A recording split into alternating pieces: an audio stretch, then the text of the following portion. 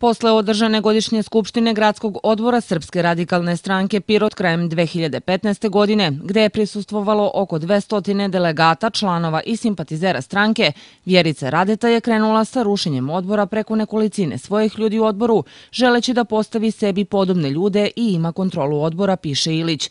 Tvrdi da su ti isti ljudi agitovali na prošlogodišnjim lokalnim izborima da se ne glasa za Srpsku radikalnu stranku. Posle završetka izbora upoznao sam predsjednika stranke sa situacijom u okrugu u nadi da će se nešto promeniti.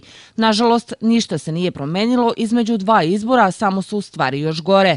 Vjerica je u tom periodu menjala i postavljala svoje poltrone. Rezultat te politike se ogleda u katastrofalnim rezultatima na predsjedničkim izborima na kojima stranka beleži pad popularnosti sa 8 na 4%. Sa žaljenjem konstatujem da sam posle 20 godina članstva u stranci bio primoran na ovaj korak. Ne želim da me naziva izdajnikom samo zato što se ne slažem sa njenim stavovima i da nanosim štetu stranci, već iz moralnih razloga podnosim neopozivu ostavku, kaže Bojan Ilić.